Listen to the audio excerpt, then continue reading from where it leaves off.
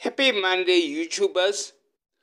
Our business delivers data driven results by increasing subscribers and watch hours on multiple channels each and every day. If you like what you are hearing, like this video and click the subscribe button so that I can inform you every time when new subscribers arrive. In this video, you are going to learn how to allow embedding in your video. Why do we allow embedding? Because subscribers or even watch hours, they will drop if you don't do this.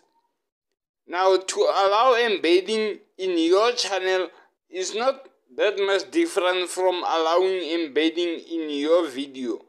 The process is more or less the same. That's what you are going to learn in this video.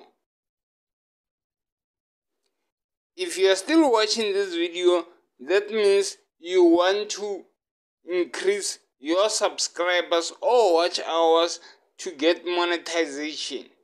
So in order to do that, I will help you with that because things have just started changing on YouTube. It used to be way different so now the first thing that you're going to do is to look at the previous system or what you used to do before allowing embedding. You had to go to a Chrome browser and type in your channel, sign in. After signing in, then you go to the basic info. From the basic info, you select allow embedding. So that was the whole process of doing that. For now, in 2022, things have changed on YouTube. The only thing that you just have to do is to upload a video, then select the option for allowing embedding. It's important to know how to allow embedding so that subscribers won't drop.